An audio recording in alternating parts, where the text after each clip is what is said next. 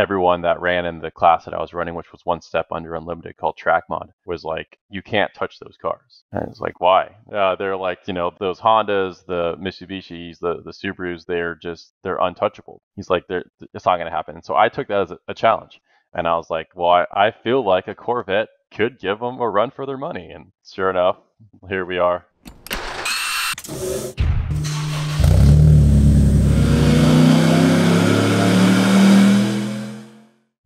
Welcome to the HPA Tuned In podcast. I'm Andre, your host, and in this episode, we're joined by Feras. And if you've been following Time Attack in the US, then Feras is probably a name you're going to be familiar with because pretty much wherever he goes, he is setting new lap records.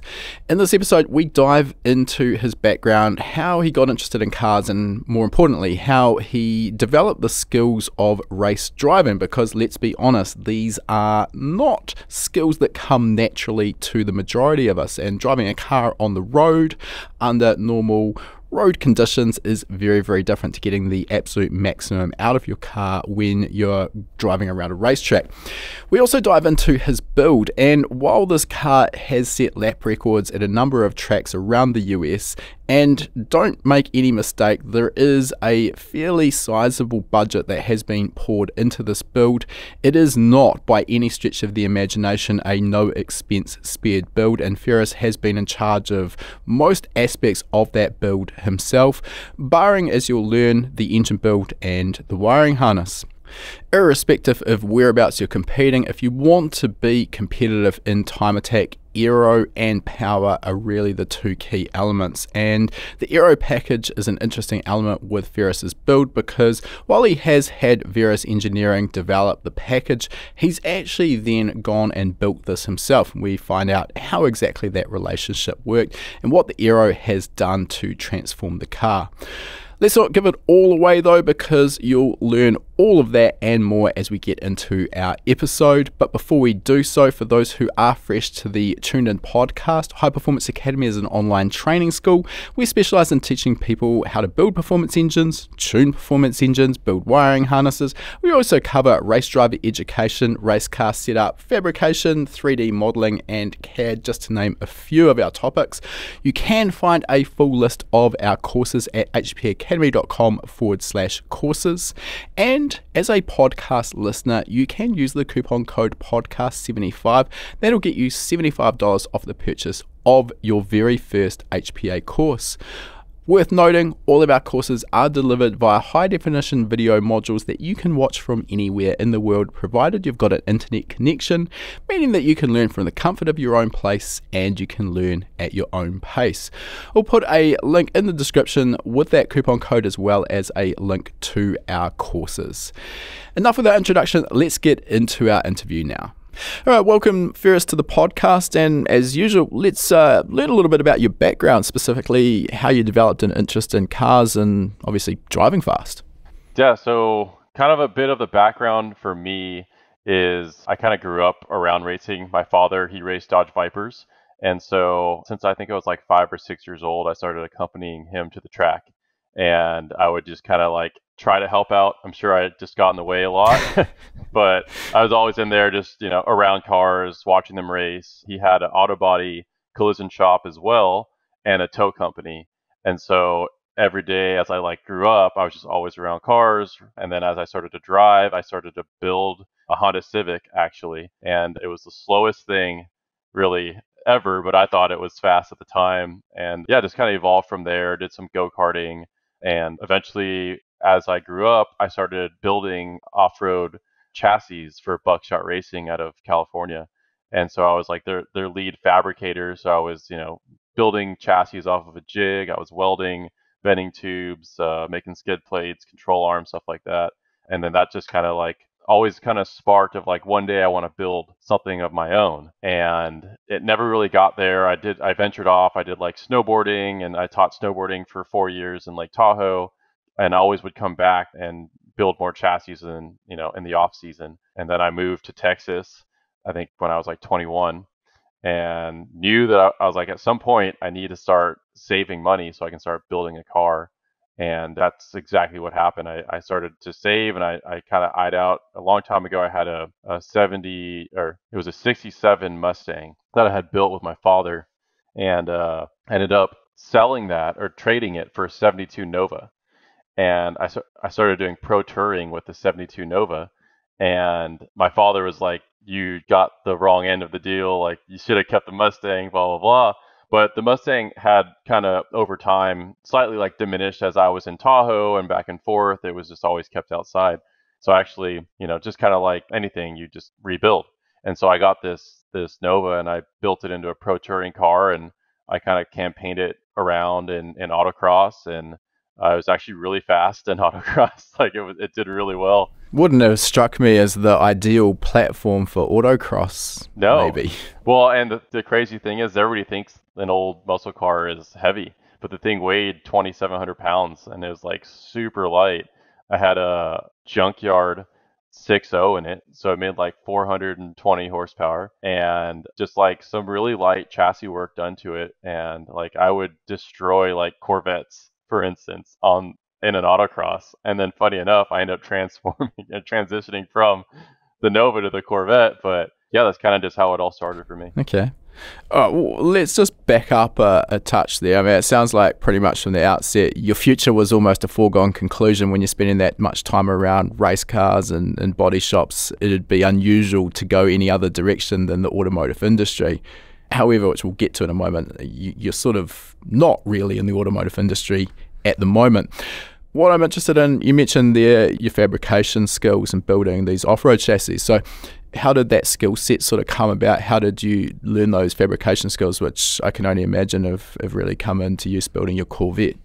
Yeah, so when I graduated high school, I started to go to college, and it just felt like that wasn't really for me. So I started looking into more of the automotive tech schools. And in Riverside, California, they had an off road fabrication school specifically just for building chassis and you know chassis design engineering welding. And so i i started attending that and i think i got like six months in and my buddy had, one of his father's friends was the owner of this off-road company buckshot racing that was looking for a fabricator. So i just went and applied and I got the job. They did like a weld test, and I could weld decently well. And yeah, he's like, okay, well, what's going on at school? What are you learning? Blah blah blah. And I just kind of talked through him about it all. And sure enough, he hired me, and I started actually like building chassis from day one on my job when I was still like just trying to fit tubes and like weld at a table at, the school. It's a big jump forward. Oh yeah, no, it was crazy. I had I, they handed me this book of like nothing but like how to's and like you know they would have jigs but they'd also have like a lot of notes. And so you'd, you'd have to just like read and it's like you know measure 20 inches bend to 20 degrees measure whatever clock it to this angle you know? So it was just like so this is before the time of cnc bending and cnc cutting uh, so it basically becomes a kit set that you just assemble on a jig. Yeah. i mean i'm just greatly simplified that but yeah it sounds like a lot more labor intensive what you were doing there. Yeah and it was always there was a lot of room for error. And so like as you were learning, as I was learning, right, I wasn't yet a full on fabricator. I was making mistakes, like kind of wasting material here and there, but it took a lot, and uh, eventually it just became a really great skill set. And you know, now I can look at something and it's like, okay, well, I know what I need to do here. I, and it's just something that has stuck with me since. I mean, I did it for I think almost six years. Yeah, you're going to pick up some skills over that time. I assume you didn't walk into the shop and, and on day one become their lead fabricator. There was sort of a path of progress to get you to that point. Yeah, no, I think it was year two. So it took about okay. two years to get there. But it's still fast. No, I mean, well, the main thing is they were looking for a fabricator, and so they had like a foreman or someone who ran the shop, but he was he was the fabricator at the time as well, and he was trying to transition into just more of, of you know management and and not really so much hands-on building. And they put me in the position of a rolling jig, where it's just like the chassis gets built off this jig. It wasn't like a flat table it had all the jig pickup points and everything for like the lower bars, and then as you build it up, there's that that middle hoop, and then like attach more jigs onto it, and then the main hoop comes on, and so on and so forth. And so yeah, pretty much from day one, I was I wasn't the lead fabricator, but I was just building a full on chassis. Yeah, wow. Okay, straight in the deep end. Straight into it, yeah. I can assume here, maybe I'm wrong, but I assume that the fabrication of those chassis would have been in chromoly. It was all chromoly, yes. So there's a few subtleties there as well when it comes to fabricating a chassis or a roll cage out of chromoly in terms of minimizing the, the heat input to the weld so you don't end up with a, a large heat affected zone around that weld and that can cause the chromoly to become brittle and actually fail outside of the weld. Is that correct? Yeah, yeah. Chromoly is also known for not really bending, right? Under stress, it will actually break or crack. So I never really like full on TIG weld the car myself because I just didn't have those skills of, of being a great TIG welder. As I progressed, then, you know, I would do sections of TIG welds and then flip the car and do section of TIG welds and flip the car. But at first I was just, you know, learning MIG welding. So yeah, it wasn't really uh, jump on in and weld the whole thing. It was, you know, I build it, somebody starts to weld it, I keep continue to build, somebody comes back and welds more, you know, something like that. Okay. All right, moving forward a, a little bit, uh, I just sort of alluded to the fact that you're currently not working at least wholly in the automotive industry. And we talked off off year before that uh, you're working in a, a, granite industry. So yeah, can you fill us in on, on the jump into that and, and how that sort of came to pan out? Yeah, so that was like the reason for the move to Texas. I was teaching snowboarding for a bit. I was making like eight dollars an hour, you know, and like living off top ramen and Bud Light. Like it was like the worst living ever, like in Tahoe. But it was so much fun. I, I lived with uh, people from all over the world. I lived in employee housing, and there was like a state line Nevada, so there was like the casinos and everything right there. So it, although I didn't make a lot of money, it was a great time living there. Yeah, so I just I needed to, to work, and the opportunity in the granite industry came up, and it was you know open up a new location, manage it for a while, open up a new location, manage it for a while, and that's kind of just how I made that transition. Okay, so at the moment you, you're working a lot on building your car or cars, which we'll, we'll dive into. Is there an intention to transition out of this granite industry and sort of embrace your skill set and passion in the auto industry? And and if so, what's that kind of look like? What's the, the game plan? Yeah, I mean, I would love to. I think in order to do that, you'd have to really have a, a great clientele and steady income. So for me to, to jump entirely away from it 100% would take, I think, a lot. But it's automotive is where my heart is. Racing is is where I want to be. I want to be around cars. Recently, I just got like a budget drift car to just kind of like learn how to drift and and mess around in. And like I love working on my own stuff. I love working on my own car. But if this drift car wasn't mine, I would I would lose my mind. Like it's there's so many things about uh you know working on cars that can be frustrating. And if it's a client's car or a customer's car, I feel like it might become more of a headache than a joy. And right now, I'm in the joy of the industry of working on my own stuff. Yeah. Yeah. What What would you sort of say some of those frustrations of working on customers' cars? What are you actually referring to there? I've got a few ideas in my own mind, but I'm, I'm keen to hear what you're, you're sort of referring to. Yeah. Well, if we're gonna leave, take everything out of it of the equation, and just only what I'm referring to on, on working on a car that is is mine, the hassle and a lot of hours spent when something should only take X amount of time, but yet it takes Y. And then, you know, I don't know how you would actually justify that to a customer. Like, yeah, the, you know, I billed you for five hours, but it actually took 20. You know, like who's you're just losing so much on that. I, I, mean, I come from the background of running a performance shop for 13 years, and I'm feeling what you're talking about there because that's exactly what happens. And there's nothing worse than, you know, sort of facing reality when you're three hours deep on that job that should take 15 minutes, and you absolutely know that it's going to be difficult, if not impossible, to, to recoup all of those hours and charge the customer. So I always looked at the franchise dealership model where, you know, they've got a book time for the cam belt of four hours and you absolutely know that any tech who's who's good at their job can smash that out in sort of 45 minutes to an hour. So the franchise dealership model is like printing cash in comparison to the performance workshop one where we kind of go the opposite way, spend four hours and, and charge an hour. But it's not all doom and gloom. Those are fortunately the exceptions. There are a lot of jobs that, that do go through smoothly. In terms of your skill set, obviously we understand now you've you've got a, a good capability in fabrication. What other sort of automotive skill sets would you say you've got? I'm, I'm imagining if you're working on your car at this level, there's going to be a, a pretty high competency with just general spanner spinning mechanical as well. Yeah, so I pretty much do everything on my own vehicle. The only thing I really try to not do is wiring. Wiring is like my nemesis. I try to stay away from that. But as far as you know, mechanic work, I do everything. Uh, fabrication wise, I do everything um, unless it's like important uh, aluminum welding. I'm not the greatest. Like I can weld up aluminum, but if it's in, important, let's just say like a coolant system, I'd try to find a, a friend or someone who I know that's good at, at welding aluminum. You know, steel, I'm, I, I have no problem welding any steel.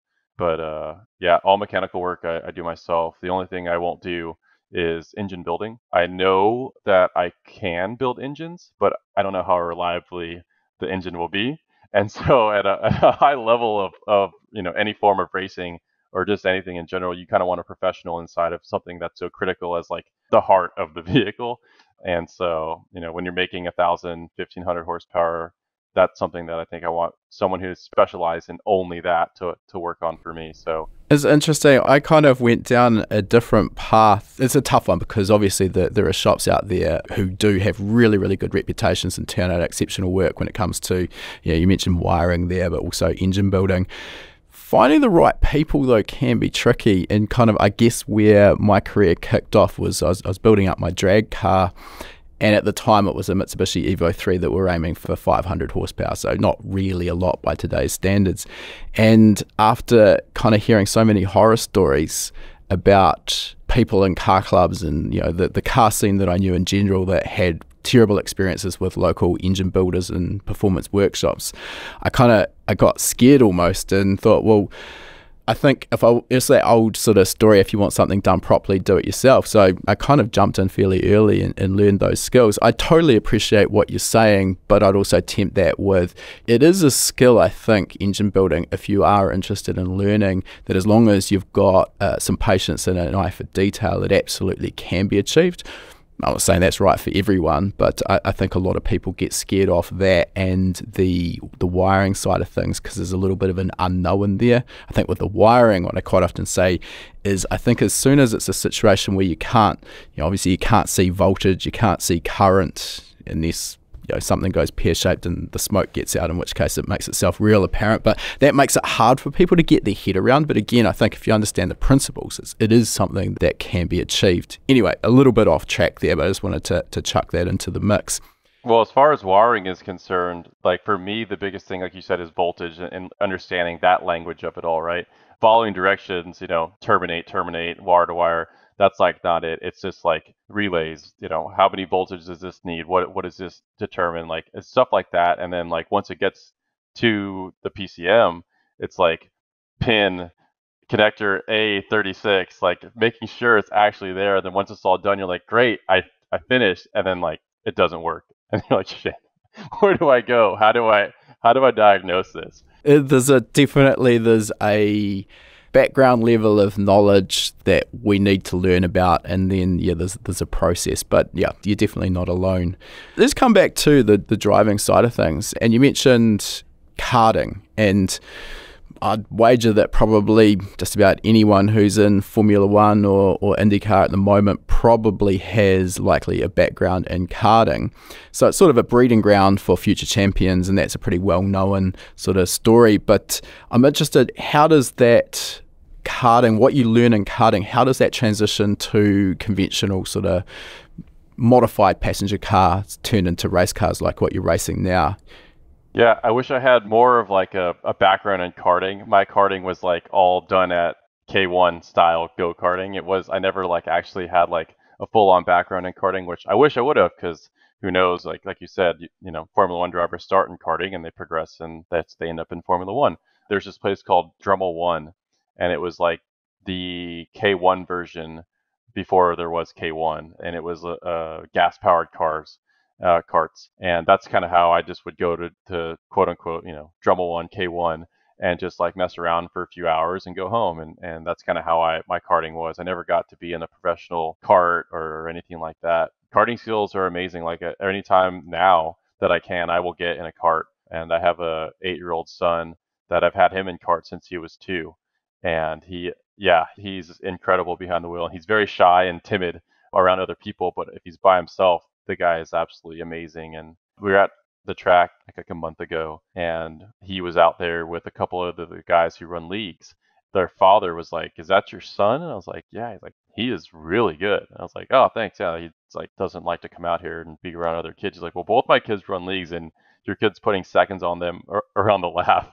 So I was like, okay, well, what I taught him was actually is working. You know, he's out there and he's running faster times than what kids are doing in in leagues, and it was noticeably different. Like the way he was getting through turns and and lapping them, it was it was crazy to see that this kid's just there maybe like the fifth time, you know, and, and these kids have been running that the leagues on it. So uh, that was pretty cool. But as far as the skill set in karting itself, I don't know in just a, a passenger car how well it transitions, but it transitions to me really well because everything's happening very quickly in a cart. And in a very high level time attack car, everything's happening very quickly. And so, as far as like vehicle control, spotting, and and uh, uh, hand movements, stuff like that, to me, are transition really, really well over to a time attack car. Brakes and, and kart feel a little bit different, but I mean, you're feeling grip, you're feeling, you know, what's the limit. Sometimes you pitch the kart, and in your driving style, you could pitch the car my car likes to not really have too much angle in not really throw it in the corners. It wants to be stuck and it wants to power out. Where in a go kart, you purposely sometimes will pitch the car so that you have a great exit. So I guess it just depends on, on what you're racing for me and how that transitions over. I mean, I had some background in karting many, many years ago, but got out of it before I got too sort of serious. But I mean, one of the elements that's quite different, I guess, to most conventional cars is the fact that the back axle is solid. There's there's no differential effect in there. So you've also got no suspension, of course, on a cart. So there's a, a bit of a difference in terms of setup and then driving style to actually overcome what essentially happens with a, a locked axle is it promotes corner entry understeer. So there's a bit of getting around that, correct? Yeah, I mean, I would say for sure because the way that my car would corner compared to the to the kart itself is quite different. So I don't think I would uh, be practicing or, or, transitioning whatever I did in a go kart, let's just say around the same track or, or the same turns as I would do in my car. I'm interested also just to talk briefly about this drift car that you mentioned you've bought. Obviously, you, are not trying to drive the time attack car sideways, or at least not very much. But I'm interested, you know, do you see there's going to be sort of a cross pollination, I guess, of skill sets between drifting and grip racing? Um, I think 100% because in a time attack aspect or any kind of grip racing, you're not trying to lose grip. And anytime you're in a high G corner or you start to lose the rear end, it's kind of like this panic feeling and you're instantly trying to correct. Sometimes you overcorrect. And in drifting, you're purposely getting the car sideways or losing grip in the rear and, and putting it in positions that you want it in where in grip racing you if let's just say it accidentally came out or it came out of nowhere and surprised you you're in that recovery mode. And so i think being comfortable behind the wheel is key in what in anything that you're driving. And if you're uncomfortable being sideways if you're uncomfortable losing grip then that just puts you in a horrible position behind the wheel. And if you learn that drifting mindset of being out of control quote unquote losing the rear end that will just make you a better driver overall and you be more comfortable in those situations when you actually are put in, in that. So you're essentially trying to make your driving a little bit more instinctual when the car does get a little bit out of shape. So it's not a panic to recover it. It's just you're doing it and basically without having to think about it. Yeah, I mean, and like also, I think recently, like I, I haven't really, I've been doing this for like two weeks, so I don't really have the great, yeah. the greatest knowledge in it. But I'm already seeing like how this could benefit me and approaching corners where if the car's tight or if I already know that I'm having a problem with corner entry, I can pitch the car and do things with it that I'm currently not doing. So I just think it's a great skill set to have in the belt or under the belt. I think if you were to take a rally car driver and put him in a grip car, he would do absolutely amazing. But if you put a grip driver in a rally car, they might not do so well. Uh, and so I, I kind of look at it like that, where it's just something that would just make you a better driver overall. And it's a lot of fun. I mean, uh, to be honest, I kind of always was kind of anti drift because anytime I'm on track after drift, the track is horrible. And so I've always been like, God, he's got these damn drifters. but uh, I'm always going after a record. Anytime I go to a track, I don't go to podium. I don't go to to win. I literally just I look at the track record or what the record is, and that's my goal. Yeah, wow, it's a very different approach. It is. I'm not there to podium. Uh, like, of course, I want to, to win, but I'm not. My goal isn't there to get first place. My goal is to get the track record. And if you get the track record, first place in the podium is going to come with it. Chances are, yeah. Yeah, but I mean, but that's my goal. My goal is to get the record. And if I don't, if I go somewhere and I just win and I don't get the record, then I'm like, man, that's this is just not what I wanted. And so I'm I'm down. I, I didn't achieve my goal. And so when you're drifting, when you go out after drift, that's almost impossible to do. Just marbles all over the track. Oh, well, you can see it in the data. The data literally will show, you know, let's just say you were cornering with like 2.5 Gs before or braking with 2.5 Gs, and you can physically see the data drop and you lose, you're losing it. And it's not because, you know, you're driving any differently. It's because of the track is going away. You know, just for for instance, this last record that I got was at Gingerman Raceway, and I've chased this record for three years. Will Leong used to hold it uh, in his uh, Honda Civic, and he's held that record I think for four or five years. And every time I would go, I had the wrong mindset. I wouldn't show up on Thursday. I would only go Friday, Saturday, and I would be, you know, practicing on old tires and not really taking into consideration that the track is constantly evolving into a worse track because it's a festival event. So they're always drifting on it, and, it, and we're going on after drifting. And so I would I failed for three years in a row. Although I won the event, I could not get the record. So what you're saying is essentially your best shot at it is the first session of the weekend. First session of the weekend before drift is there, and that's what I did this year. I went there first session out. I I did it was the first two sessions. Drift didn't end up uh, running on Thursday. I knew I had two sessions to make this happen. And so, yeah, I went out Thursday for session one on uh, the same tires I was on from Road Atlanta, and they were fairly good. And then I went around for session two. I put on some stickers, and they're like, "We're not even timing this session." I was like, "Well, you're you have to time this session because this is the only chance I have to set a record." And uh, sure enough, I went out first lap out, set the record. That's also it's almost the polar opposite though of a, a, conventional road race event where there is no drifting, where the evolution of the track kind of goes the other way. You know, you get to a start of a race weekend, maybe the track hasn't been used for a week or maybe a month. It's dusty, you've got no rubber laid down, and then you know over the course of the weekend, if the conditions are right, the track rubbers up and actually becomes more grippy, and you've got more cornering G-force available, braking G-force etc. So very different to what you're explaining. Yeah, oh yeah. No, the evolution of the track is to a complete polar opposite. So it's like instead of a, a, track that is constantly evolving and getting better, it's constantly getting worse. And the craziest thing is you see it in the data, and you know, like you know, data doesn't lie. So if you're if you're chasing time you can find it in the data. You can see where it's at. You can see where you're losing time to yourself. If a track is evolving, you can see it in the data. If track is diminishing, it's in the data. Yeah, frustrating, but you can't argue with the data. Uh, let, us just get into the, the way a time attack event works. Um, I'm figuring that probably most of our listeners have a broad idea, but maybe if you can give us the sort of 30 second uh, sort of rundown on, on how these events work. Yeah, so traditionally, time attack is you go out there and you try to run a lap or two in US time attacks, I feel like it's slightly different than in Australia or in Japan. People tend to treat it more like a HPDE session or, or time trial. But the way I like to kind of treat it is kind of like a Formula One race in a way, or, qualifying. I go out and I just try to do a, a slight warm up of my tires, and I go as fast as I can and, and try to get a great lap, lap one. If it doesn't happen, I'll try to cool the car, or I'll go for a second consistent lap. And at that point, you're probably not going to do any better because these cars are so high strung. Everything's starting to get too hot.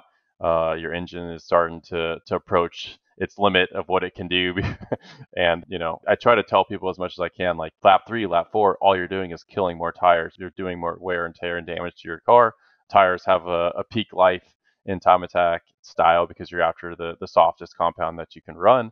And once those tires get too hot, well, it's not really going to happen anymore for you. Like you might end up setting a good lap, but it wouldn't have been your optimum lap. So it's definitely different than what I'd say like traditional racing is. It's more of just, you know, go out there, set a lap, cool the car down, come back in. Yeah. So you've essentially got one or, or maybe two flying laps and after that the tires are cooked, everything's on the on the way out. So it requires you coming off the track or at least cooling everything down substantially before you can go again Uh, just talking about the tyres a little bit, what, what are the regulations and the events you run in the US in terms of what tyres you're able to run? Are these a dot tyre, a full slick? Yeah, what's the story there? So for unlimited classes, what I run, you can run a full slick. So any racing slick tire that you'd want, as long as it's a non-confidential compound, it's available to the public for a limited class. Everything else is going to be 60 treadwear, 200 treadwear. And I don't think there's anything over 200 treadwear, maybe for like enthusiast class or something like that. But it's all has to be relatively available to the public as well. I've been on non-DOT slicks for the past two years now, and it is amazing the difference in grip levels that you have in a non-DOT slick versus a DOT slick, or even just like a DOT slick to a 200 treadwear tire. In the US, those are very, very similar, but you can do so much more on the non-DOT slick. It's pretty crazy. Yeah. Okay, I mean, one of the issues that I hear, we, we sort of head over to World Time Attack, which you're going to be attending in a little over a month now, I think it is. So they have changed the tyre rules for this year at World Time Attack, and I think that's probably a good thing, all, all things considered. But basically, the complaint that I always heard over there, they were forced to run a Yokohama control tyre. This is a, a dot treaded uh, road tire essentially, albeit a very, very soft and, and sticky one. But I mean, the, the top guys basically would sort of creep out of the pits, casually go around their, their outlap, trying not to put any heat or stress into the tire, and then sort of come onto that last corner onto the front straight, and sort of they're all all on. And you know, if you were lucky, you got sort of three quarters of the flying lap before the tires would start overheating, and sort of you're on a basically an ice skating rink again. So kind of managing that tire, you didn't have a chance. Like if, if you made a mistake in your one flying lap, that was it. You didn't get to go again because the tires were basically cooked. So big advantage by the sounds of it though with your slicks that you're running, at least being able to do two laps back to back, even if they do need to cool down after that. Now, in terms of these time attack events, you, you're not strictly directly racing door to door with other cars this, I think, in New Zealand with the time attack events that we've seen has been a real advantage in terms of getting more people into the sport with less risk involved. I mean, there's always risk involved with racing, but compared to a, a grid of, you know, 15, 20 cars door to door, there's a lot going on, particularly through those first few corners in the first lap. You've got separation between the cars. So, would you say it is a good way of people getting into road racing?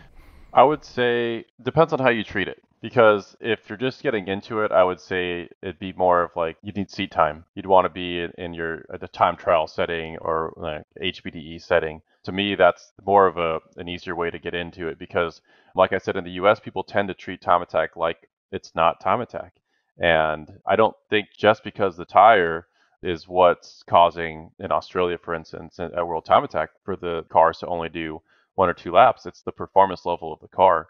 And if you have a, a very high strung performance car out there that's only going to do one or two laps, and you have a bunch of cars that can do 20 laps or close sessions down at you know half the pace, it makes it very difficult. Yeah, that's a fair point. Yeah. Yeah, it makes it no longer time attack, I feel. It just makes like an open session kind of lapping. But I would recommend time attack to almost anyone that I meet that is interested in, in doing something like that because it is a challenge to yourself.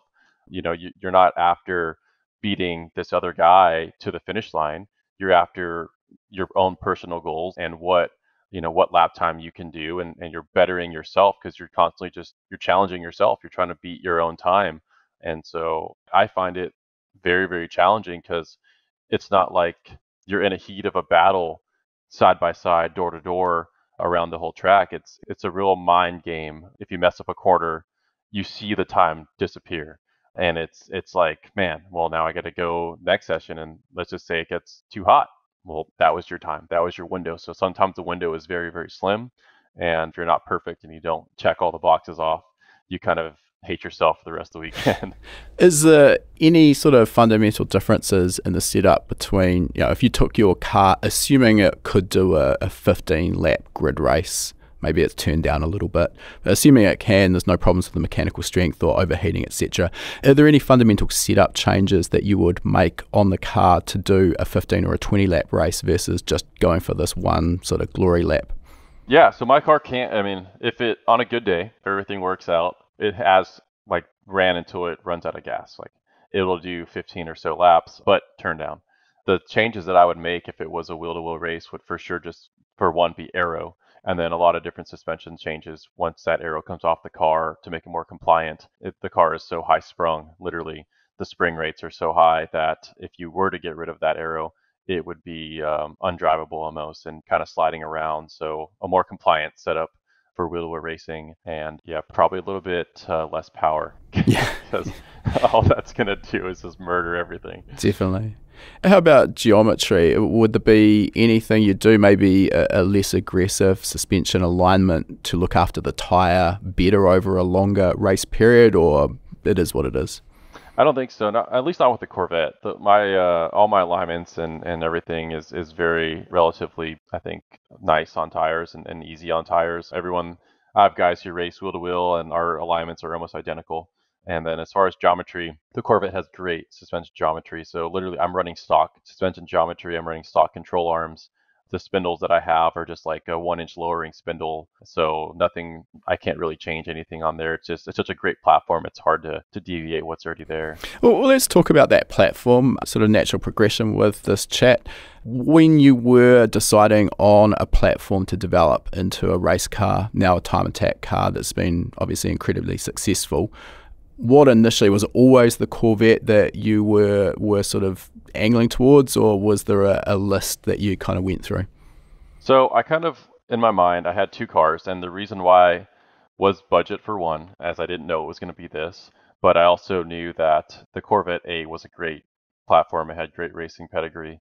I knew that you know something that I wanted to compete in needed to be something that had history in being competitive, and so for me, everything kind of just was off the list except for the cars that I knew had great success in racing.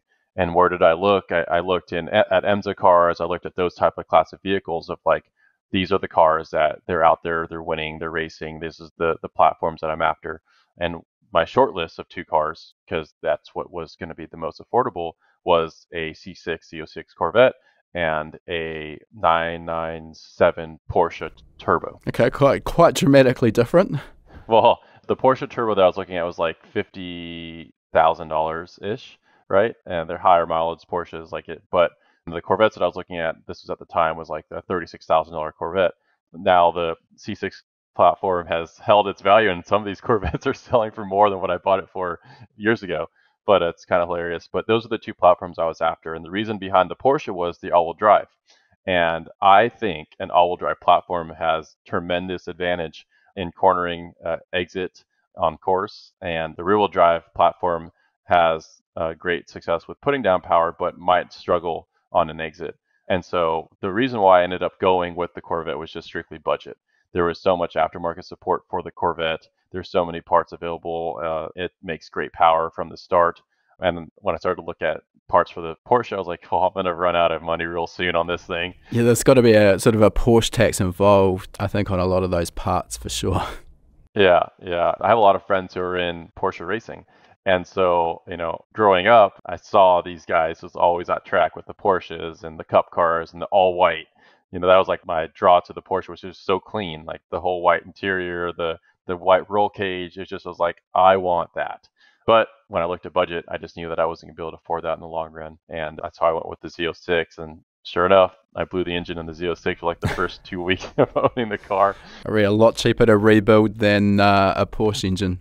Yeah, and it had the dreaded the valve. I literally was just on the freeway driving. It was like in sixth gear, just in the fast lane, and sure enough, boom, I'm like, are you kidding me? Like it's going 80 miles an hour. Like I wasn't even doing anything special but I wish it was a more fun story. But as far as like the engine going, but uh, yeah, that was how I ended up leaning towards the Corvette. Uh, one, one thing I have wanted is coming back to that Porsche platform as well. I've, I've sort of thought if you were to develop a fully fledged time attack car, where obviously the aero package is so important, power as well, but you know the aero is what we've kind of seen develop, particularly at World Time Attack over the eight years or so that I've been covering that event is the location of the engine in that 997 I can only imagine will make it incredibly difficult to develop a, a, really effective diffuser at the back of the car because simply you've got an engine where the diffuser needs to be. Is that sort of a fair point?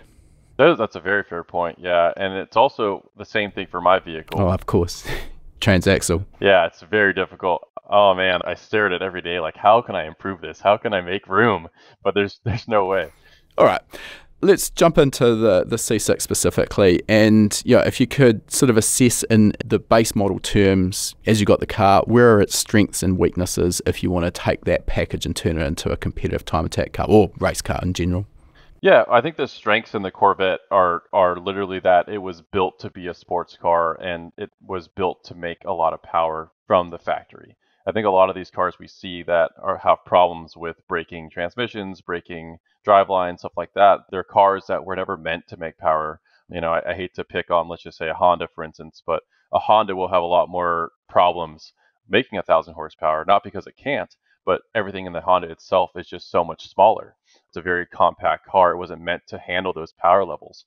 And so in a Corvette, when you literally compare side by side, like the transmissions are massive, the axles are massive, all the mounting locations are massive. Like it, it's just it's meant to handle a from the factory, you know, 500 horsepower. So we're doubling it, but the components themselves already from factory were meant to, to take abuse. Then you have Corvette Racing that has has gone around for years and has amazing pedigree, and that transitions down to the Corvette over the years. They're developing and changing things based off of what they're doing in racing. And so I think for one, the fundamentals of just a strong vehicle to begin with, that's a good draw point towards the Corvette. You know, the C5 and C6 Corvette have amazing suspension geometry. And a lot of people know this. A lot of people were like, oh, well, it's an American car, can only go straight.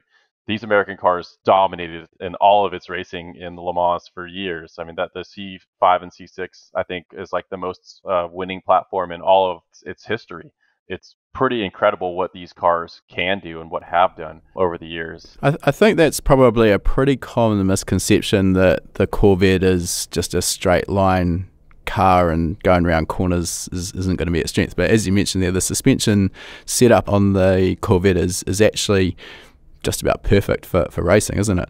It's great, and that's why you see a lot of these aftermarket companies who are building, you know, aftermarket suspension for, let's just say, an older vehicle. They're all using Corvette suspension in those vehicles. The knuckles, the spindles, they're all based off Corvette geometry. A lot of the pickup points, upper and lower control arms, that's all Corvette stuff. And so, like, I don't want to mention a name, but X company has their, you know, Camaro bolt-on subframe. Well, those bolt-on pickup points are really the same kind of geometry as the Corvette, and the spindle looks just like a Corvette. It's because it's from a Corvette. Okay, so the other element here, we, we mentioned the transaxle, and for those who maybe haven't heard that term too much, instead of conventionally having the gearbox attached directly to the back of the engine, the, the gearbox and the differential are one, and those that's located at the rear of the car, and you've got a prop shaft running the length of the car that spins at, at engine speed essentially. So that's relocated the gearbox back. So I'm guessing there's got to be a benefit here in terms of weight distribution in the car. Yeah, they're very well balanced because of that reason. I mean, the, they're still lighter in the rear, but it helps get the balance there and it gets it to being like a 50 50%. My car currently is slightly heavier in the front still. I do have a little bit of added weight with the reinforcement of the splitter, which that I'm redesigning all that to cut that weight. But yes, factory wise, they have great as far as uh, weight distribution front and rear. And the transaxle setup in the car is very strong. I'm uh, I might me personally, I'm running the factory case, I'm running the factory diff, and I've you know put down 1300 horsepower, 1300 foot pounds of torque, like nothing in that thing. And I'm of all these years, the factory diff that I'm still running that came with my Corvette from 2008 is in the car, and the only thing I've ever had to change was one stub shaft and one clutch pack that's uh, that's a pretty impressive reliability for something that has been driven that hard and making that much more power. Uh, to be clear, not a standard gear set in that transaxle, though. Correct? You now a, a dog engagement sequential gear shift. In the actual transmission itself, yeah, the case itself is still factory. Okay. So when you purchased the car and sort of started developing it, I'm assuming that taking down every racetrack lap record probably wasn't uh, on your mind right then. So, what was the design criteria initially, and how's that kind of developed over the time you've been racing the car? Yeah, so initially I just wanted a car that would be fast on, on a road course and that I could drive around and daily drive it. I had a, I've always had a second vehicle. I had like a truck of some sort to like uh, trailer to events, but I wanted to have a car that I could like drive on the street to work if I wanted. And it transitioned out of that very quickly. I think since once the engine let go, it went from being that idea of okay, well, it's just going to be you know a car that I can track and daily to how fast can we make this car? What's the biggest what's the biggest engine I can put in this car? And so it went south real quick. It did stay in a, a more street form for longer than I expected. I started doing Optima Ultimate Street Car with it. And to run that series, it needs to be a street esque car. You need to have full interior, you need to have uh, a radio that works. And so I didn't really have big aero in the car. I actually had no aero with the car, just factory stuff for a while. And, you know, the transition from that to where it is now was after the, I think year two or three of running Optima.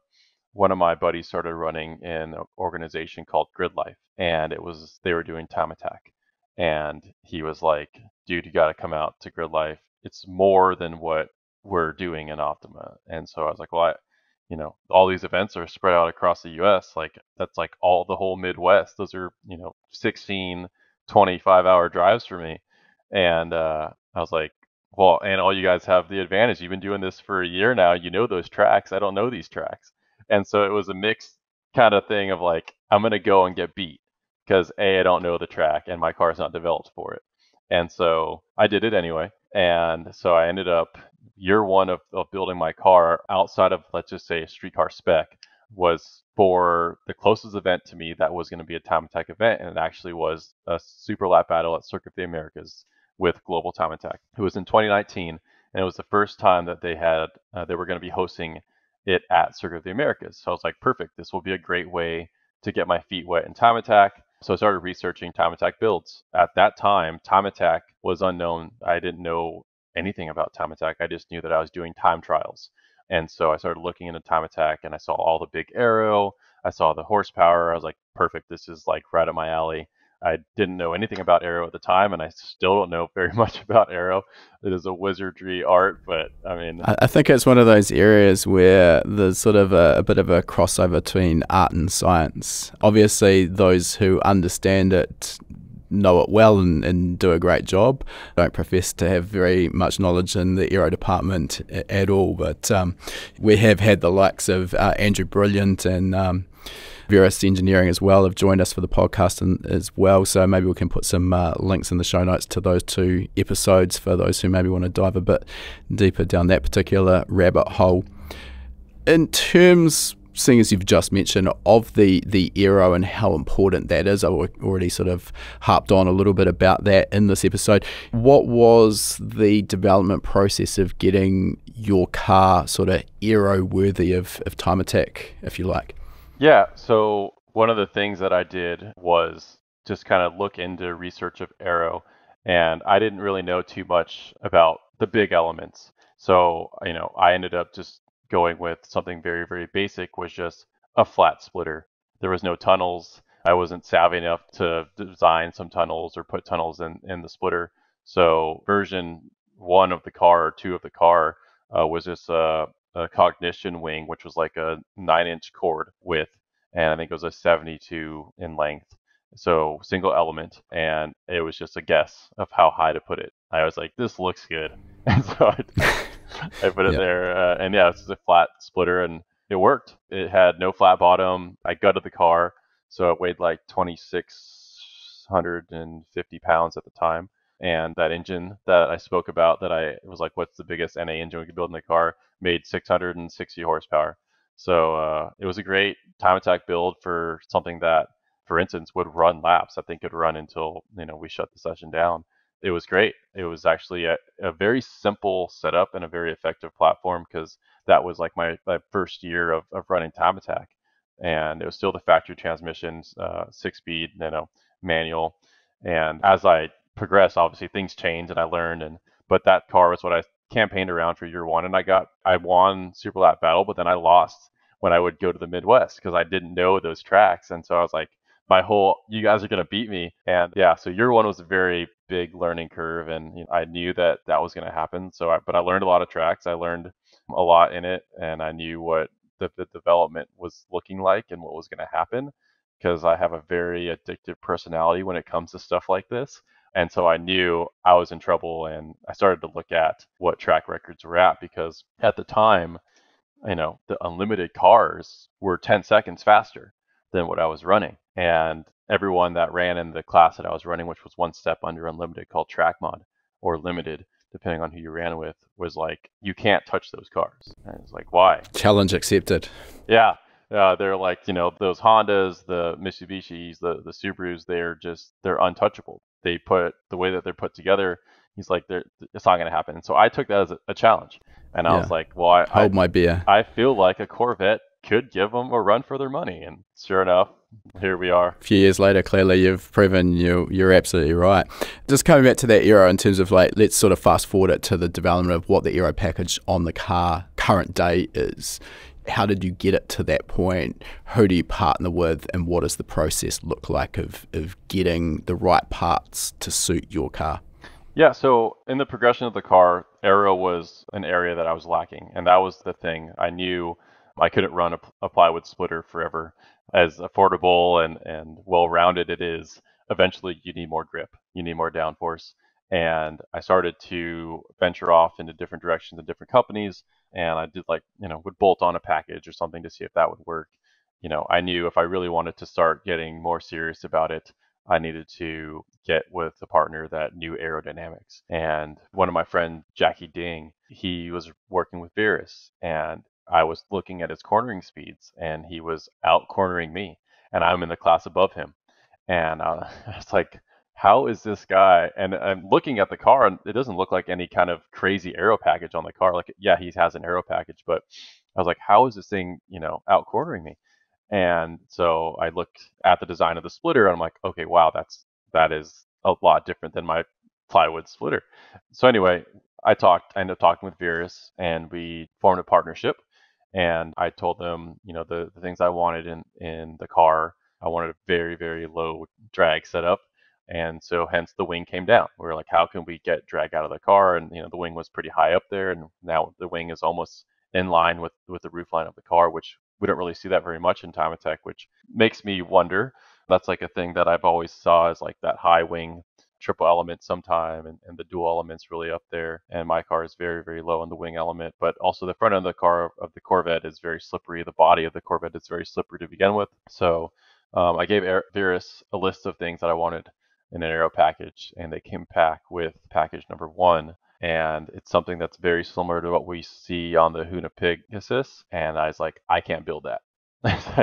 as as amazing as that. Just to be clear here, you weren't asking for a, a fully developed bolt-on package from Verus. You were basically getting them to develop the shapes of the parts that you would need, and your intention was to then build them yourself. Is that that's correct? Correct. And Verus will offer the building of the parts themselves, but it's just outside of my budget. So basically, you had to dumb it down a little bit into uh, something that wasn't quite as complex in the shape so you could actually manufacture it yourself. Yeah. When I, I see like triple elements in a front element, right? I know I already know I can't do that. I need something that's basic with tunnels.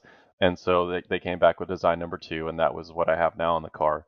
And it's a multi level splitter design, very wing shaped with different tunnels and heights. And, you know, it's to me, it's still I don't really know what they all do still. I have like a, an idea. It just works. Yeah, but it but it works, and it works so well that I have even till this day a very hard time keeping the car off the ground. And I have done so much with spring rate. I have tried raising the car, and I hate raising the car because it gets it out of that aero bubble. And so I don't know what to do. And and this is an area that I struggle in is in the suspension side of it because although I, I do all this myself, I am not a, a master in anything. I do well in everything, but there's there's so much that I, I lack as far as knowledge. I think particularly when it comes to setting up the platform and the suspension in a car with serious amounts of, of aerodynamic downforce, it straight away raises some really serious problems because obviously the faster you go, the more downforce the aero package makes. So the harder it's being forced into the ground. So the tendency then is to needing to run stiffer spring rates in order to keep the car off the ground, stop it from bottoming.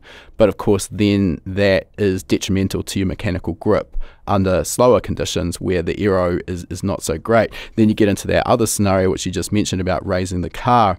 I mean, when you've got a properly developed underbody, within reason, you, you want to run that incredibly low to the track to optimize its performance. I mean, I've greatly simplified that, but you know, in, in rough terms. So everything is essentially about compromise. A lot of the people I have talked to where rules dictate you can't run a, a, sort of a heave spring arrangement or something of that nature are using bump rubbers and packers to essentially limit the compression travel of the suspension, kind of in a, a crude way of keeping the car off the ground at the higher speeds. Is that something you, you're playing with as well?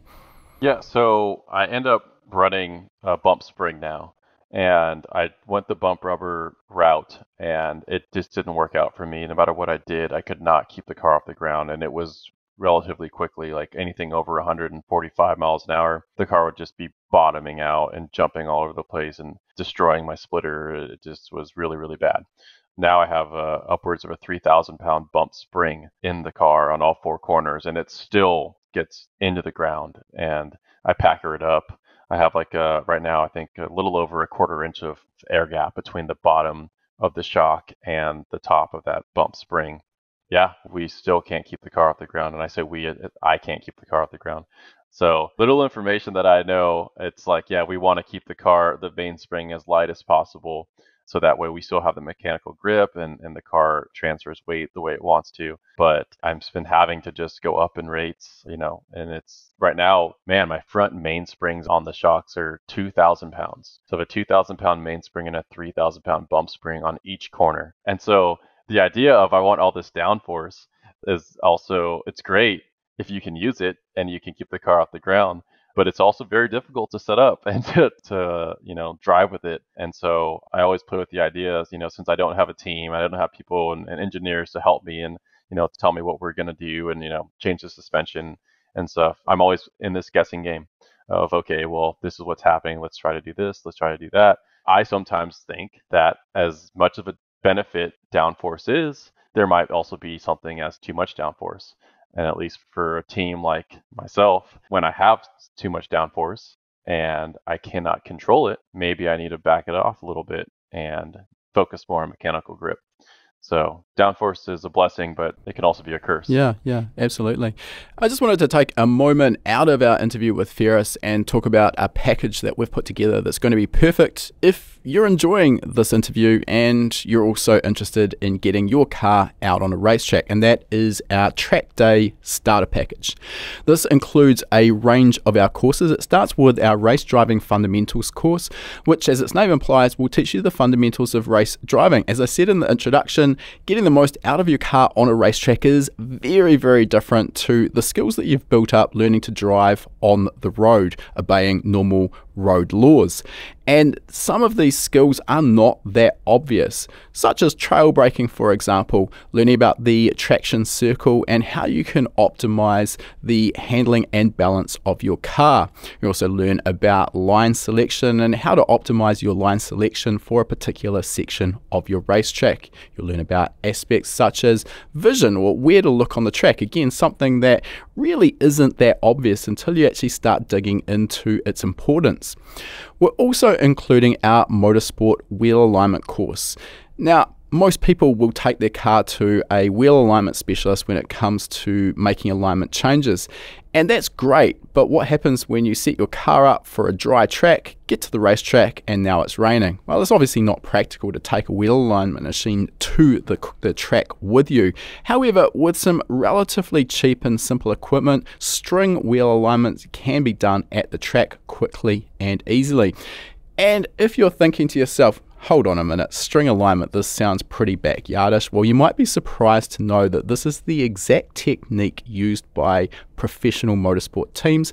And if you've ever walked around the pits, you'll see these cars on their setup patches with strings attached doing exactly this.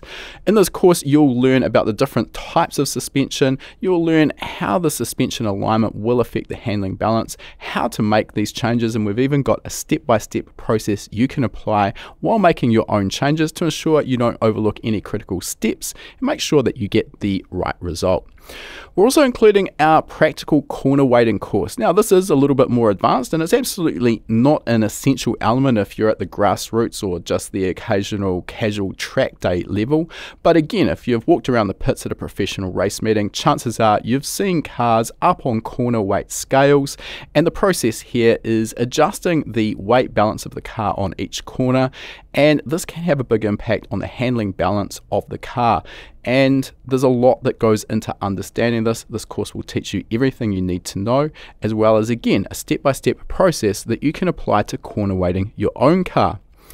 Then, once you're actually out on the track, Data analysis is one of the keys to optimizing your performance. And if you're thinking that data analysis packages are expensive, well, there are levels to this. One of our favorites is the AIM Solo 2 DL, which is a relatively cost effective device and it's completely portable. You can just suction cup it to your windscreen and it will give you feedback on your data. It'll also give you lap times via GPS.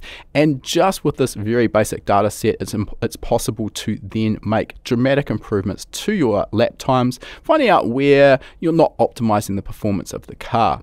This course will teach you what the fundamentals of a data analysis package are, how to set this up for your car, and then most importantly, how to analyze the data.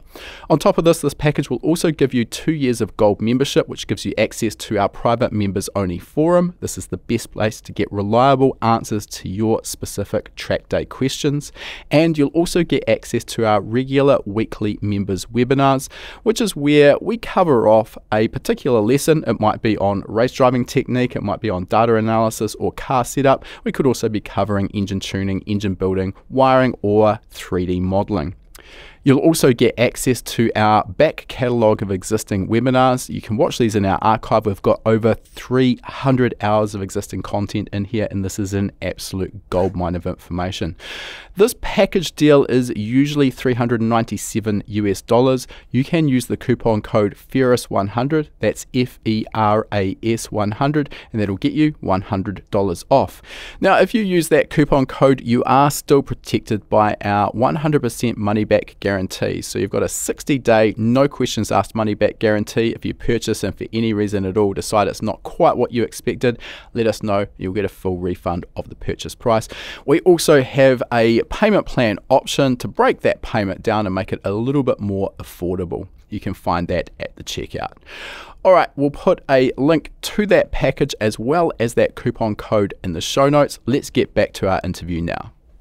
I mean, one of the elements as well around downforce, I'm just wondering if the sort of setup changes you make depending on the track. Obviously, downforce is, is not a free lunch. You're going to end up with drag as a result. So, I mean, a lot of it you, you mentioned earlier is focusing on getting a high downforce package without any excess additional drag. So basically minimizing the drag at least as far as possible, which obviously makes sense.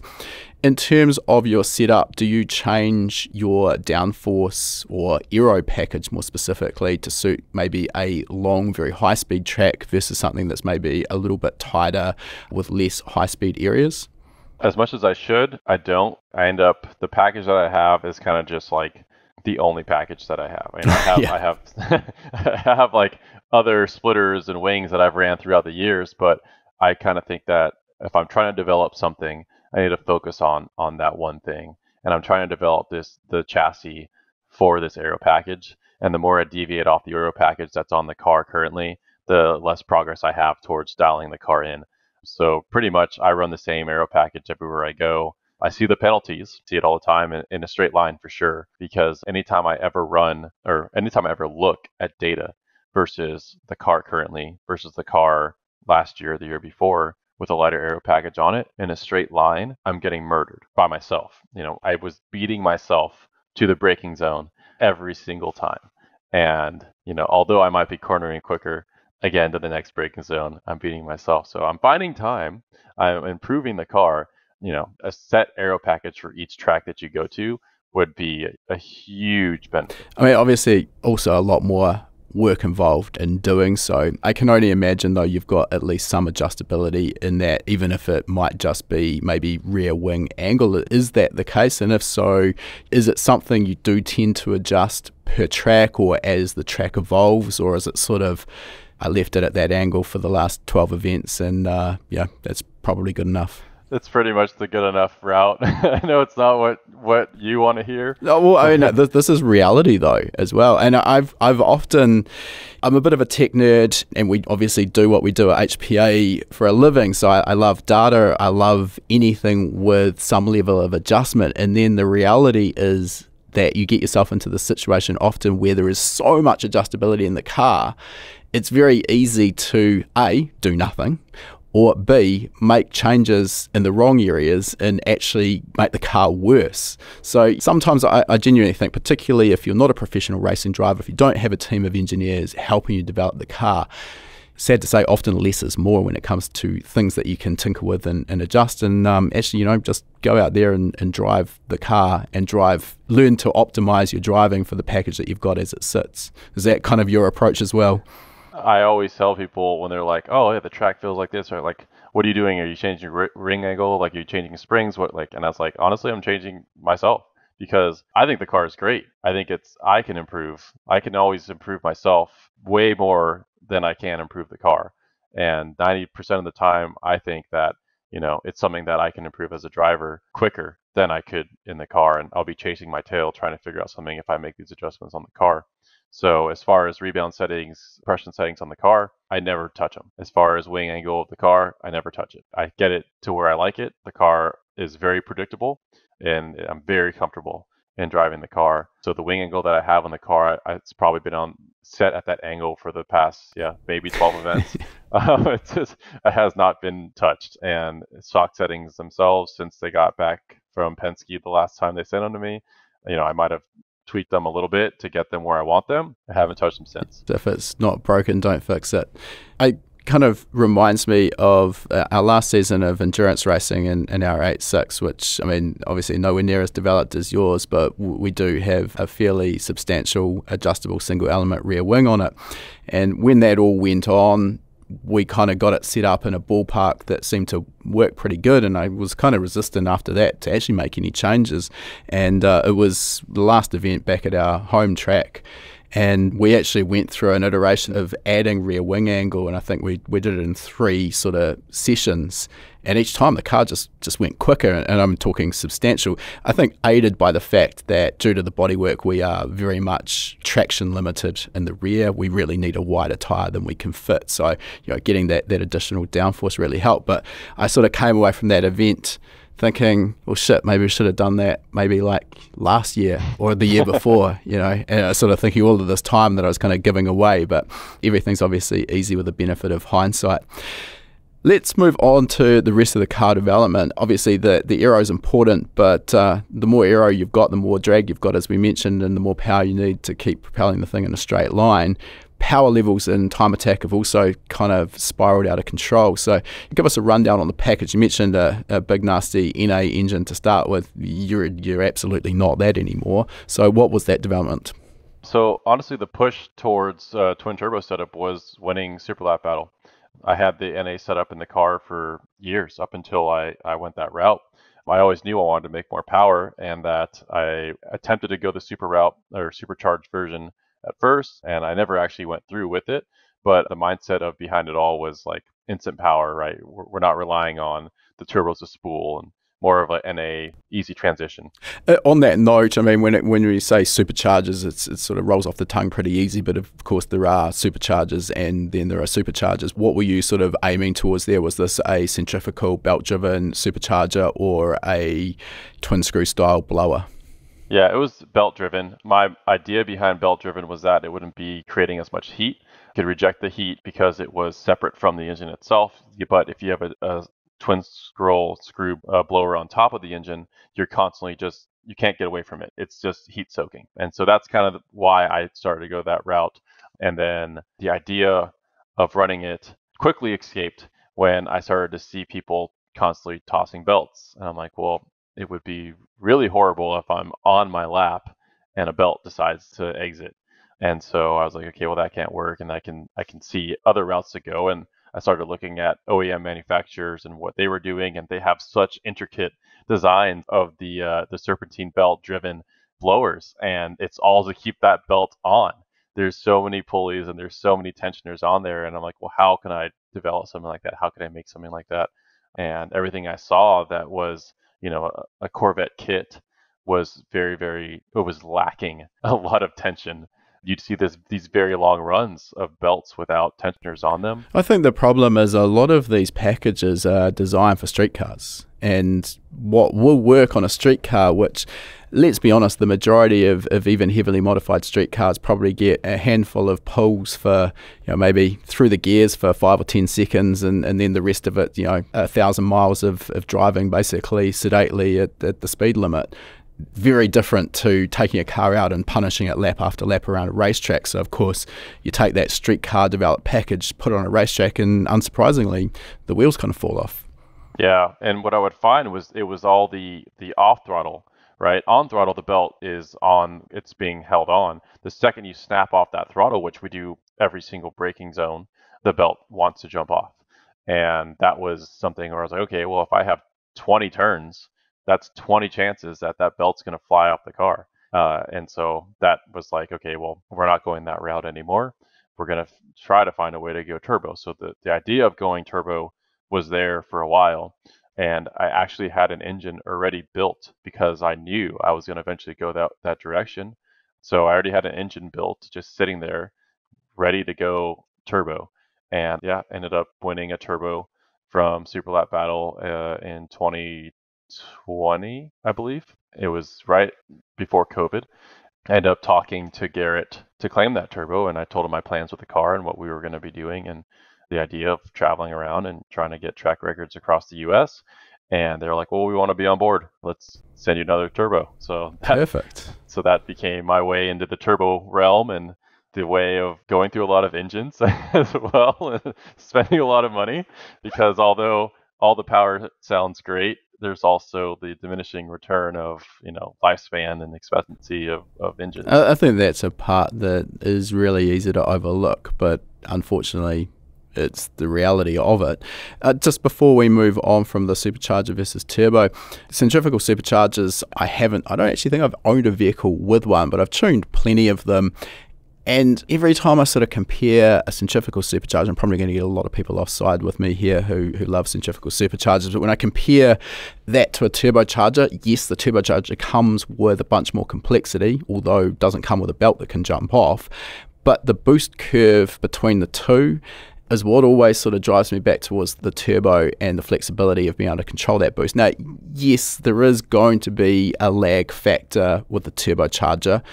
I think, you know, within reason, if the turbocharger is well sized and you're using a relatively narrow rev range, which typically you are if everything's working how it should in a, in a race application, the lag is really less of an issue. But in comparison to the centrifugal supercharger boost curve, which essentially just continues to climb as the RPM increases because the supercharger is being driven by the engine speed, you know, do you see any sort of what's your take, I guess, on the boost curves of centrifugal versus turbo and pros and cons for time attack application? Yeah, so at the time, I was comparing it to what the NA engine was doing. And it was very similar to what NA engine does that's making a lot of torque. Right off idle, pretty much my engine was a 468. So it was it was like a 7.7 liter. And so I would have all the torque immediately. And so I was very comfortable driving like that because I drove that that car for years. So I said, okay, well, if I'm just looking at comparing graphs and I'm saying what's making the most power under the curve, it's the supercharger. And now that that might be unusable power, but in in the mindset of me just looking at a graph and I see a lag for for turbo and instant power for supercharger, and then I put my NA graph over that, the supercharger trends towards a big NA torquey engine and I was able to manage that power. It was a lot of throttle ma- uh, modulation. At the time, I had no traction control. I mean, even version one and two of my build turbo had no traction control, so it, it was still modulating the, the power regardless. I, I think now what I know, the turbos are the better route as far as managing traction. Even now, like you know, I don't overpower my NA engine until you know, one or 2,000 RPMs later, but I'm still breaking traction out of a corner when I'm making less. So it's interesting to see like your mind's like, oh, yes, that's more. I want that. But all that's unusable. Uh, it's going to make your life hell to get out of a corner. And you're probably going to hate yourself later when you toss the belts and you can't even finish the lap. One of the things that I like about the power or torque delivery of turbocharged engines is the flexibility and, and how much torque you're going to be producing. And there's a lot of tricks that we can do electronically now through wastegate control where you know you can control the boost relative to throttle position to get a more linear relationship between the driver's pedal position and the amount of torque the engine's making, making the engine easier to drive on the limit. You can also use gear dependent or gear and speed dependent boost control, so pull the power and torque down at lower speeds where you are more traction limited. So it takes a bit to set that up and optimize it approximately for the track, but you're prepared to put the time in. I think it makes for a much easier to drive package all round. Which I guess brings me to the next element of the build. Can you run us through the electronics package, what you're running there? Yeah, so the package itself, I'm running a M150 from Motec. The package itself is a G-Speed LS7 package, and this originally is like their plug and play kit. It comes with a jump harness so that you could still run all your factory electronics. Um, and at the time, that's what worked for me because you know it was very early on in, in my build. And so the actual package is, is very, very basic. It's the GPR pretty much set up, but it's a it's an LS7 package in the car, and it was uh, it's their firmware for G Speed. So there's actually very as much as you have of ability and adjustability in Motec, the package I actually have is very limited. Okay. Well, I'm glad I talked about all those things that you can do anyway. we can still do a lot of the things you, you talked about. Yeah. Okay.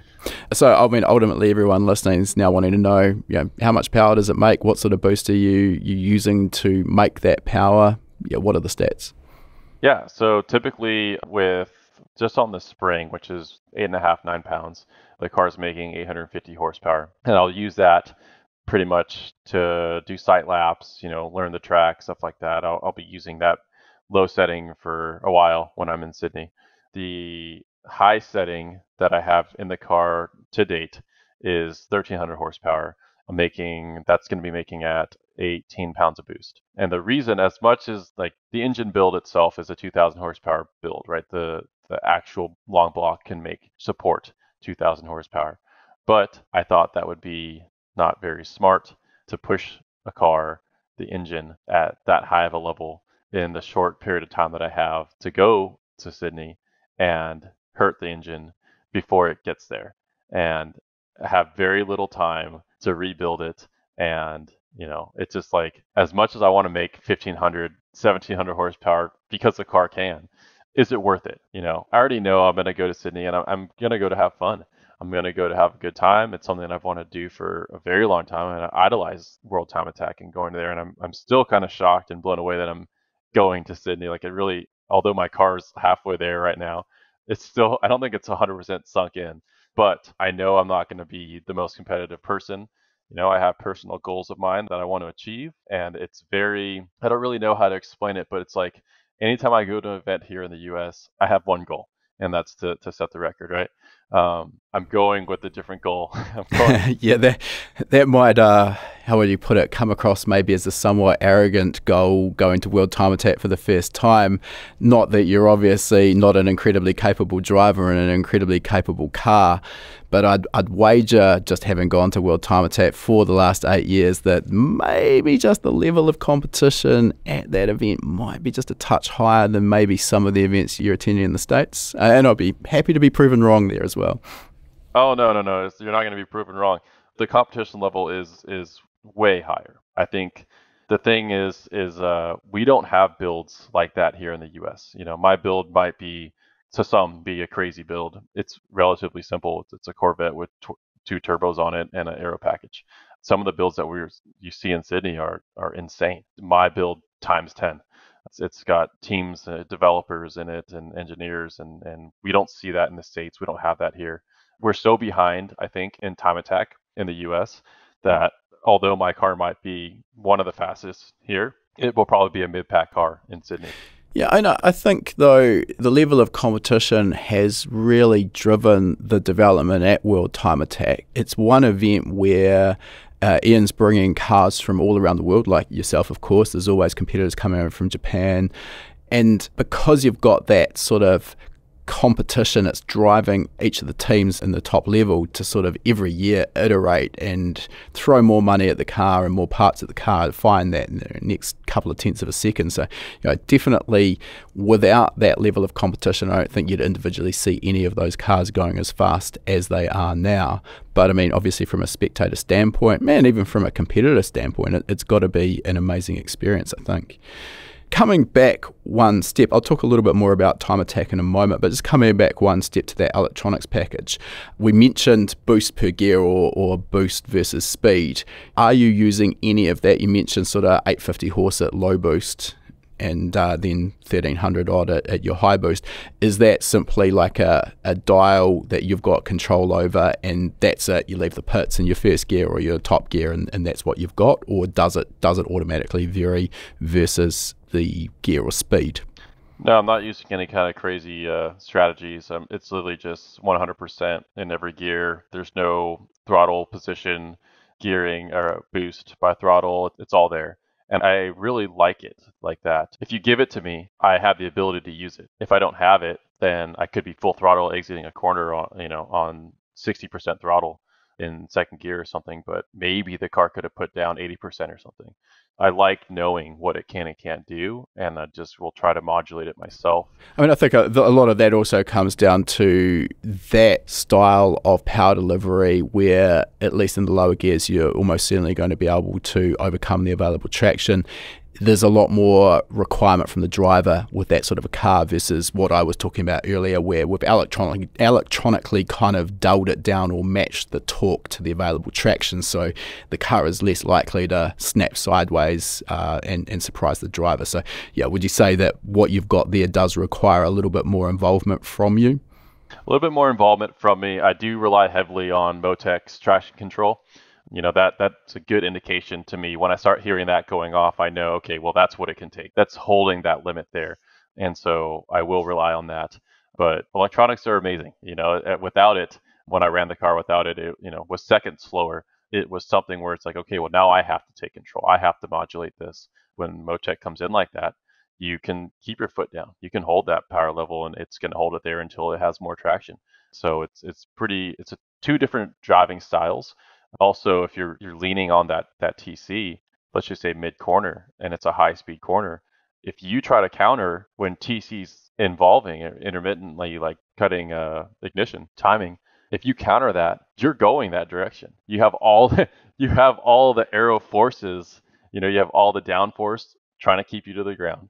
You have TC cutting the power, and you feeling slip. And everything you have is to start countering. Every intuition you have is is to oh I got a counter, and I've done this so many times where you know I'm starting to the rear end stepping out and I turn into it, and now I'm like going that way on the track. So it's a case of learning to trust the process, tr- trust the traction control. You have to trust the TC, and I've been in situations where that car is just holding slip angle for me. I'm still holding the wheel, turning the way I want to go, and I'm fighting everything in me to, to counter it. And it is a crazy feeling but uh, it just brings me back to how amazing electronics are. Yeah, definitely. There's a lot of ECUs now that, that offer traction control, and I think it's kind of like one of those things when you're looking at a spec list on an ECU, it, it's an easy box to tick. And the reality, which I, I, think I've probably talked about in the past, though, is there's traction control and, and then there's actual traction control. And some forms of traction control, a really good example, this is an aftermarket, but uh, the factory uh, Toyota 86 traction control absolute garbage. Like, yes, it will stop wheel spin, but someone might as well turn the damn ignition off. Like the car absolutely dies. So, yeah, if you want to go fast in a factory 86, you are absolutely disabling that traction control for the moment you leave pit lane. And the same sort of goes, I think, for the aftermarket ECU world. You've got traction control systems which will stop wheel spin, but you're going to be slow and then the systems that are really highly developed and when you've got them tuned correctly as you say you can kind of hold slip angle there you know keep your foot pinned to the floor and, and the ECU is kind of picking up the pieces and you're fast I know from my own experience with Motec, there is quite a bit of sort of setup that goes into that, and there's a lot of control parameters. I don't think you've actually tuned this yourself, so I don't want to get too deep into stuff maybe a little outside your own knowledge level. But was there much involved in getting that dialed in, or was it kind of a hit the track for the first time and oh, look at that, it just works? So when G Speed first got into that package for me, they already had TC set up. So I don't know what they did on their end. Now Motorsports Electronics aids me in tuning the car. He's gone through the TC settings, and I'm not sure if he's changed things or not in it. That is a whole section of tuning that I know nothing about. But with my levels, I just have a knob that I can dial in more, dial in less, or dial out. But funny enough, I don't really tend to, to turn that knob. I could have almost picked that. it's, it's kind of just one just of like the rear wing. Forget it. Yeah, yeah. it's just okay. there. So good to know. All right, uh, coming back to the world time attack element. So you've got a long way to go to get there. The car's halfway there already. Obviously, it's a, a pretty big event with a, a, lot of press coverage. So I'm guessing, rightly or wrongly, you might be feeling a, a, bit of pressure to perform, even if you're, you're not maybe aiming for the lap record this time around. How do you go about getting yourself prepared in terms of learning a track that's on the other side of the world? Are, are you uh, using a simulator or anything? The pressure for one is going to be great but I feel like that comes at pretty much any high level event that you go to, in which like the second you get behind the wheel, it all just kind of seems to go away. You might have all the pressure up until that point. At least for me, the second I get behind the wheel, it kind of just I'm in a different element. I'm in a different zone. But prepping for the for this, I've been prepping for over a year now. I knew I was going to be doing this, and so I've been you know running the sim, and I've run it. I don't even know how many hundreds of hours I have now in sim time or on that track. But uh, the biggest thing for everyone, I think, is turn one, and it's very uh, it's it's it's frightening that there's not a car in the sim that will allow me to do what I think the car will do in real life. In other words, you you can't go flat through turn one at 270 odd kilometers an hour on the sim. Well, so I'm running Assetto Corsa, and I only have like a handful of cars to choose from, and those handful of cars that I can choose from cannot do it. Some of them will do it with like a flick of the car and and you know a lift for a second or two, and then get back on it. But when I watch the RP968 go through turn one, I'm like, man, there is no car in the sim that can do that. There's a lot of times in in the sim versus real life, there is a lot more grip in real life. I've noticed that in iRacing that when I go to Road Atlanta or Road America, wherever it may be, I physically know what I can do in that corner. And sometimes the sim just says, nope, we're not doing that. And even if I'm driving a, a you know, IndyCar, for instance, or something, I know the IndyCar will have the grip capable of taking that corner at, at the speed that I'm trying to take it, and it just kicks it out. So I'm hoping that is the case with turn one around Sydney. But I've also gotten like some messages from other competitors saying like, hey, just so you know, turn one flat out is not a thing here. just we're just giving you a heads up. Yeah. So I mean, I definitely wouldn't recommend it maybe on your uh, your outlap, but no, no, no. I, I, think a lot has been made about the the cars that do go flat through turn one, and and I don't know for sure. I can imagine it's probably um, far from the entire top class of, of the field anyway. You've obviously just always got to feel these things out and kind of build up and learn where the grip is and where it isn't rather than sort of overstepping early on in the in the piece. I, I guess on that basis, you know, how much weight do you put, and not just Eastern Creek, but I, am guessing you're using your sim rig for the other tracks around the US that you regularly frequent. You know, how much weight do you put on the benefit of, of using a sim uh, versus actually being on the real track? Using the sim is great because you get familiarized with the track. And like I stated earlier, what makes a great driver is being comfortable. And I find that although the times are different, the performance level of the vehicles are different, just knowing and familiarizing myself with my surroundings, knowing somewhat breaking points, somewhat, you know, speeds for corners, that is huge for me. And I think Road Atlanta, before I went there, I did maybe 200 hours of sim time. And I went there, and session one was immediately at the pace I wanted to be at. I told myself, you know, lap one, first session, I want to be at a low 20, 21, 20 if possible. And first lap on track, I was 21. And that was like with a broken power steering line, like doing all sorts of bad stuff. so it was like, okay, wow, there's a lot of pace here. But I gave myself a goal, I, and I was very comfortable. I was overly comfortable, and I still do- didn't drive the car the way I should have. I didn't really give it full 10 tenths. But going to Sydney, with the amount of time I've had on the sim, I'm going to be very comfortable, at least around that track, at seven tenths. You know, when you get to nine, ten tenths anywhere, I think it's it's very hard to be comfortable in a, a high, strong, high horsepower car. Yeah, I, I think for me the the benefit of the sim is is learning a new track, not necessarily the last sort of tenth or two tenths or whatever that might be, but you know, understanding the flow of the track, understanding the lines. Uh, if you are in a situation where you can drive a car with, uh, you know, a model, I should say, with the same gearing, etc., as your own car, gives you an understanding of you know, what gear you're going to be in for what corners. And when you're dealing with these super accurate laser scan tracks as well, with really good graphics, you know, you can start picking up like what you might be using as a, a braking mark or a reference. You know, so again, maybe it's not going to be perfect, but you're not going to waste a, a, session or two just getting yourself up to speed. And of course, you know, in your situation, you're traveling to the other side of the world for a two day event you're not going to get a huge amount of track time. So that track time that you, you get, you, you really want to make it count, correct? Oh yeah, no, I mean the sighting of the track. If you get there with no, let's just say you didn't do any sim time at all. I mean, day one is going to be learning the track, and you might finish the event with not ever really being comfortable, because time attack cars are only going to be ran for so many minutes before you have to turn them off, before you have to cool them down. So let's just say you ran the car two laps per session, you had a total of six sessions. Like, wow, you would never figure that track out. You you never you never were comfortable. So as, if you can get more comfortable behind the wheel of a sim, that is you know equates to how many visits of the track. Like you know, I, I would say me going to Sydney with the amount of sim time I have now, it would have been as if I've been to Sydney. I'd say like two or three times right? That's what I would think I get out of it. And I think if I'm returning to a track, I'm more comfortable than first time visiting. Okay. Yeah, perfect. That, that makes sense. All right, I think we'll we'll move on towards wrapping this chat up, Feras. I, I, do want to respect your time, and we've got the same three questions we ask all of our guests. And the first of those, I'm going to throw at you now. What's next in the future for you? I don't know. That is okay. such a great question.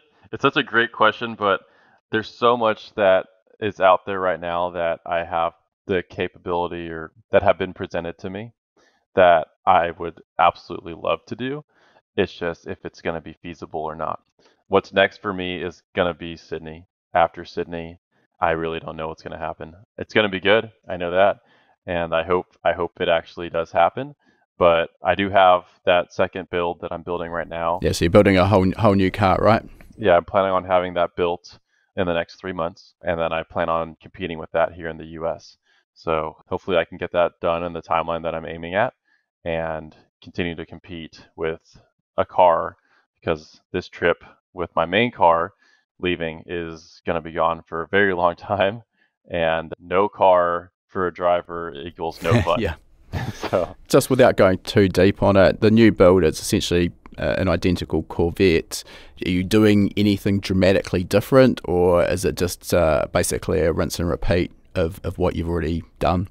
It's going to be a, a better build because the car currently was gone through stages. It was always, you know, transitioning and, and changing into something else. And there has there's so many holes in random locations for different, you know, aero or whatever I might have used at the time mounts. So A, I know what I'm going to be doing because I've already done it now, and it's going to be a, replica of that car. So I'm not going to have that evolving stage that I had with that car. I already have all the parts picked out uh, and aero wise, everything like that. So yeah, it's going to be just a better car because it's going to be purpose built from day one to being a, a, clone of what my car is now. Yeah, okay. No, that makes perfect sense. All right, our next question Is there any advice you'd give to a younger version of yourself to help reach where you are today in your career faster? Maybe avoid any pitfalls that you might have come across?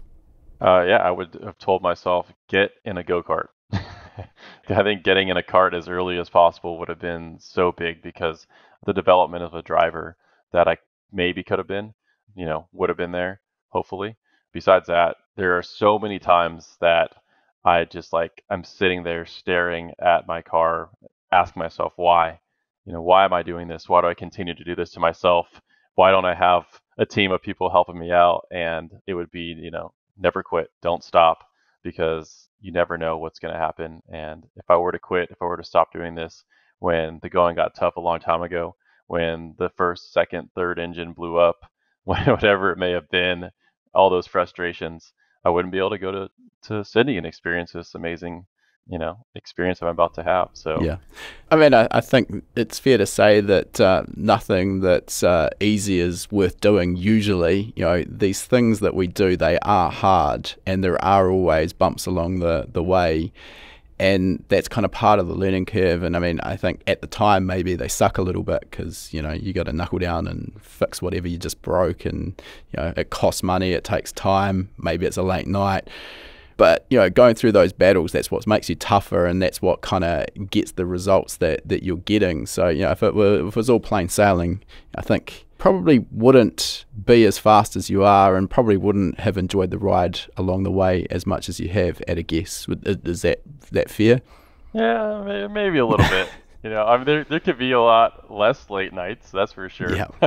I feel uh, I'm at the garage man, so pretty much midnight almost every night working on this thing. So if I could cut that time in half, that'd be great. But like you said, nothing, uh, nothing comes good. That's easy. So, and I think that every time we're prepping for a race event, unfortunately, I'm not doing as many as you, but every time we're sort of loading up and it's 10:30, 11:30 at night, and I'm sort of thinking to myself, you know, no matter how well we plan, no matter what, there always this always seems to be the the, the point we get to is yep, we're going to be loading the car onto the trailer at 11:30 at night the, the night before we're about to leave for the event. And I don't know, I, I can't fix that. It's been that the whole way.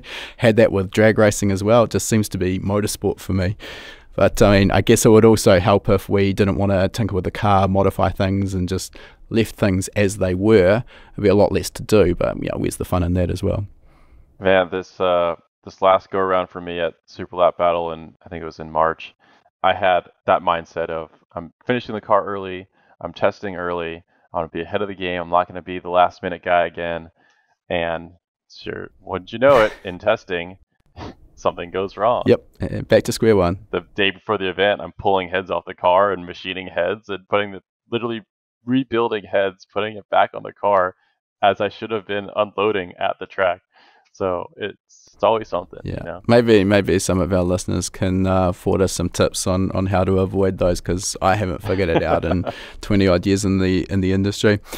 All right, Feras. Uh, last question for today: If people want to follow you and see what you're up to, how are they best to do so? Best, I think, is Instagram at Feras underscore Qartoumy. That's pretty much where I do everything. Uh, I try to do Instagram or YouTube stuff, but it's so much. YouTube is so hard, and I applaud anybody who does YouTube so well, like yourself. It is so time consuming. There is so much involved. Uh, it is a lot. And I've been tinkering with it a little bit. And man, it is so difficult. You spend so much time trying to create something, you create it, and then nobody watches it, and you're like, why did I waste so much time? Yeah, I mean, unfortunately, that algorithm really rewards consistency as well. But I mean, uh, when my kids were younger, uh, I used to get really frustrated. We'd, we'd spend a, a, hell of a lot of time traveling to the other side of the world to shoot a, a video, which I thought was great. And we'd put it up, and I don't know, maybe to get 50,000 views. And uh, then my daughter would be watching a, a toy unboxing video that that's got 13 million views or something stupid and you're like what are we doing wrong this is just oh. this isn't working but um no. yeah, we're obviously in a different niche no, I applaud anyone that does YouTube well because it is it is so difficult. But if you wanted to find me on YouTube, it's the same thing. Feras Qartoumy on YouTube. There's nothing special there, but well, we'll chuck uh, we'll chuck those accounts in the show notes to make it super easy for people to find. Uh, great to, to chat with you, Feras. And we'll also put a link as well. We shot an interview with Feras at uh, SEMA last year. So for those who are hungry for a, for a little bit more content, we'll link to that. And, um, you know, I look forward to catching up in person at World Time Attack and seeing whether you can stick it to the top boys at World Time Attack. No, we're not going to do that. We're just going to have fun, man. But, yeah it's always got to be fun. But uh, yeah, thanks for the chat, and uh, we we will catch up over there. Awesome. Thanks for having me. If you enjoyed this episode of Tuned In with Feras, we'd love it if you could drop a review on your chosen podcasting platform. These reviews really help us to grow our audience, and that in turn helps us to continue to get more high quality guests. To say thanks, each week we'll be picking a random reviewer and sending them out an HPA t shirt free of charge anywhere in the world. This is also a great place to ask any questions you might have, and I'll do my best to answer them if your review gets picked. So, this week, a big shout out to NS Racing from Australia, who has said, Best four wheel pod of all time. Andre and the team, thank you so much for your efforts. Awesome content that always hits the nail on the head. Well, thanks for the kind words there. And if you get in touch with your t shirt size and shipping details, we'll get a fresh tee shipped straight out to you. All right, that concludes our interview. And before we sign off, I just wanted to mention for anyone who's been perhaps hiding under a rock and hasn't heard of High Performance Academy before, we are an online training school and we specialize in teaching a range of performance automotive topics, everything from engine tuning and engine building through to wiring, car suspension and wheel alignment, uh, data analysis, and race driver education. Now, remember, you've got that coupon code. You can use podcast75 at the checkout to get 75 $25 off the purchase of your first course. You'll find our full course list at hpacademy.com forward slash courses. Important to mention that when you purchase a course from us, that course is yours for life as well. It never expires. You can rewatch the course as many times as you like, whenever you like. The purchase of a course will also give you three months of access to our gold membership. That gives you access to our private members only forum, which is the perfect place to get answers to your specific questions. You'll also get access to our regular weekly members webinars, which is where we touch on a particular topic in the performance automotive realm. We dive into that topic for about an hour. If you can watch live, you can ask questions and get answers in real time. If the time zones don't work for you, that's fine too. You're going to get access as a gold member to our previous webinar archive. We've got close to 300 hours of existing content in that archive. It is an absolute goldmine. So remember that coupon code podcast75. Check out our course list at hpacademy.com forward slash courses.